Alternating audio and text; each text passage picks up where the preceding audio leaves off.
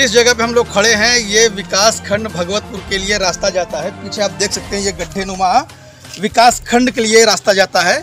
नाम तो है विकास खंड लेकिन आप रास्ते को आप देख करके आप अंदाज़ा लगा सकते हैं कि खंड खंड में डिवाइड होकर रास्ता जाता है विकास खंड अग्निपथ मूवी अगर आपको याद हो तो उसमें डायलॉग है, लथपथ लथपथ, अग्निपथ अग्निपथ। कुछ ऐसे ही नज़ारा यहाँ पे है, ये रास्ता खंड खंड खंड खंड जाता है विकास खंड अब जिस विकास खंड को पहुँचने के लिए इस तरह का रास्ता हो, उस विकास खंड से आप गाँव के विकास की कितनी उम्मीदें कर सकते हैं, सोचिए आप, और सोचने का विषय है। अब आप इस बात का अंदाज़ा लगाइए कि आनंद फानंद में सरकार ने नंबर लेने के लिए सिर्फ़ विकास खंड यानी ब्लॉक का उद्घाटन कर दिया। एक अदद रास्ता तक जो है सही तरीके से ब्लॉक मुख्यालय तक उपलब्ध नहीं करा पाया।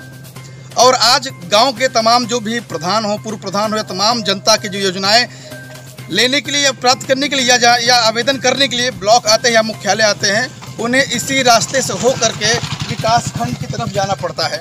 और रास्ता आप देख करके आप ऐसे ब्लॉक से आप कितना उम्मीद लगा सकते हैं विकास का जो ब्लॉक अपने मुख्यालय तक पहुँचने का खुद ही रास्ते का विकास न कर पाया हो ऐसे ब्लॉक से आप उम्मीद लगाना मेरे हिसाब से बेईमानी के अलावा और कुछ और नहीं हो सकता।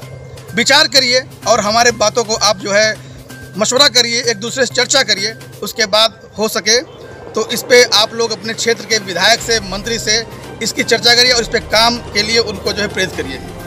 और मैं विकास, इस विकास खंड तक जाने वाले रास्ते से संबंधित जो विभाग हैं, अब अगर मान लीजिए मैं विकास खंड अगर जाऊँगा वहाँ के वीडियो से अगर बात करूँगा तो निस्संदेह मुझे पूरा पूरा डाउट है, वो इसको उठा करके पीडब्ल्यूडी के माथे जो है वो ठेल देंगे, या तो जिला पंचायत के ऊपर इसको जो है उसके हवाले कर देंगे।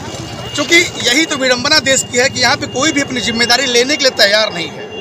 वो चाहे किसी विभाग हो, कोई भी विभाग हो। अब एक बार फिर से मैं आपको इस रास्ते की सूरत दिखाता हूँ। अब भगवतपुर विकास खंड को आप जो है, इसी खंड खंड रास्ते से आपको होकर जाना होगा। तब पहुँचेंगे आप विकास खंड भगवतपुर। फ़िलहाल हमारी पेशकश यहीं तक।